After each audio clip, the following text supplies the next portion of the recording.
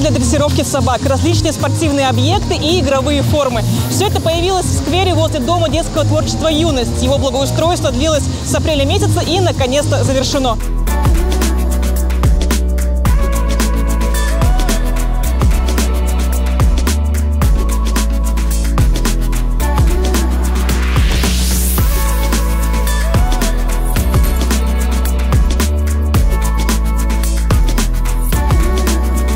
Инициатором проекта выступил Союз промышленных предприятий.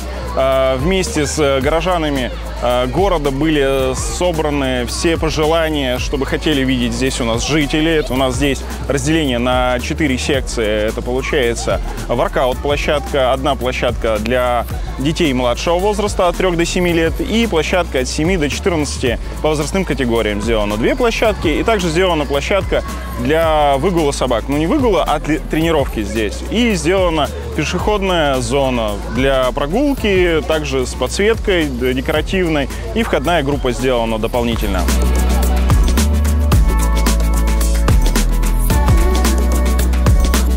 На территории Миасского городского округа по-прежнему остается проблема вандализма, поэтому здесь мы также сделали акцент на видеонаблюдение, э, которое мы здесь смонтировали. Также мы данный сквер э, передали на обслуживание в муниципальное учреждение, которое будет э, осуществлять его круглогодичное содержание.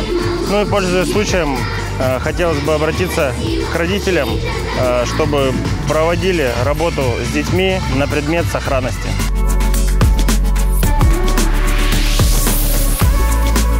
А, на самом деле, когда сквер появился и сняли уже забор, я сразу же сюда пришла посмотреть, потому что ну, это, это самое настоящее место моего детства. Я родилась и выросла здесь неподалеку, Добролюбова 8 двор. И, собственно, все свое детство провела в юности как раз-таки. То есть я ходила мимо этого леска с этими тропинками, которые с корнями деревьев перебивались. И когда я пришла, я прям помню этот момент, у меня сейчас даже мурашки идут, пока я рассказываю, насколько все стало крутым, насколько преобразилось то пространство, которое я помню с детства. Оно в 90-х было заброшенное, никому не нужное.